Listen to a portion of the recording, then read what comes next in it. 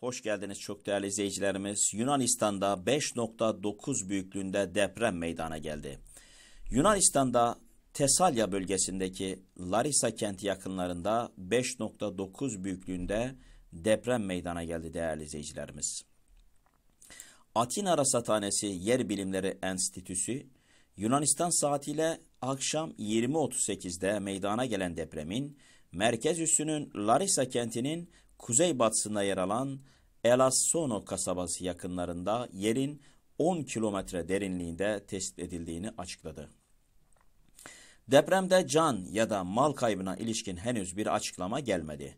Yunanistan Depreme Karşı Planlama ve Koruma Kurumu Başkanı Efiptimos Lekas yaptığı açıklamada sallantının kendileri için beklenmedik bir gelişme olduğunu muhtemelen dün aynı bölgede meydana gelen 6 büyüklüğündeki depremle bağlantılı başka bir fay hattının faaliyete geçmiş olabileceği değerlendirmesinde bulundu.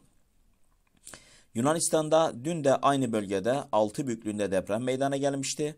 Atina Yer Bilimleri Enstitüsü Larisa kent merkezinin 24 kilometre kuzeybatısında yerel saatle 12.16'da yerin 7.8 kilometre derinliğinde 6 büyüklüğünde deprem kaydedildiğini açıklamıştı.